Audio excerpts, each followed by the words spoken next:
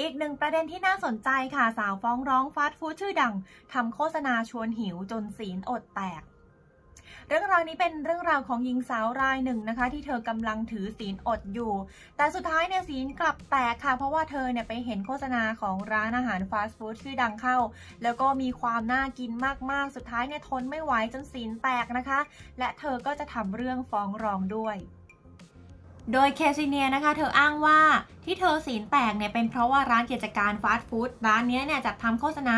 โดยไม่คิดคำนึงถึงความรู้สึกนะคะถือเป็นการละเมิดกฎหมายคุ้มครองผู้บริโภค และดูถูกความรู้สึกทางศาสนาของเธอ เพราะว่าโฆษณานี้เนี่ยชอบออกอากาศช่วงเดือนแห่งการถือศีลอด คล้ายกับจูงใจให้ผู้ที่นับถือศาสนาศีลแตกซึ่งหนึ่งในนั้นเนี่ยก็เป็นเคซิเนียเองนะคะที่สูญสิ้นสถิติการถือศีล อดครบตลอดเดือนมายาวนานกว่า 16 ปีค่ะ แต่ในปีนั้นเนี่ยเธอต้องพ่ายแพ้ต่อโฆษณาเบอร์เกอร์ชื่อดัง แล้วรีบพุ่งไปที่ร้านเพื่อซื้อมากินทันที เธอจึงเดินหน้าฟ้องร้องเรียกค่าเสียหายเป็นจำนวน 14 เหรียญ หรือประมาณ 460 บาทเป็นค่าทำขวัญค่ะ เมียหลวงเมียน้อยแย่งสามีคนเดียวกันล่าสุดนะคะเกิดเหตุทะเลาะวิวาทค่ะ เป็นเหตุการณ์ที่เกิดขึ้นระหว่างเมียหลวงและเมียน้อยนะคะ ที่ทำการแย่งสามีคนเดียวกันค่ะ โดยนางสาวเอนะคะ ซึ่งเป็นนามสมมุติค่ะอายุ 47 ปี ชาวบ้านตำบลกระสังอำเภอเมืองจังหวัดบุรีรัมย์ได้ออกมาเรียกร้องความเป็นธรรมหลังถูกสามีลงไม้ลงมือ โดยสามีประกอบอาชีพเป็นผออกลุ่มงานในอบตแห่งหนึ่ง ของอำเภอเมืองบุรีรัมย์ค่ะ ผู้สื่อข่าวเข้าตรวจสอบนะคะ พบว่านางสาวเอนั่งรออยู่ข้างสนามกีฬาหน้าอบต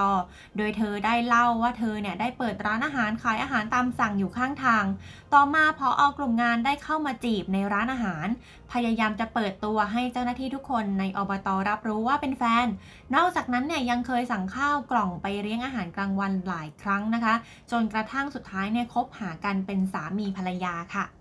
ต่อมานะคะในเวลาต่อมาเนี่ยเธอกลับทราบว่าพออคนนี้มีภรรยาอยู่แล้ว อยู่ที่สีสเกตค่ะ ซึ่งต่างคนต่างรู้กัน จึงเกิดการโต้เถียงกับภรรยาของพออนะคะ ทาง Facebook มาแล้วหลายครั้ง โดยเธอเนี่ยนางสาวเอเนี่ย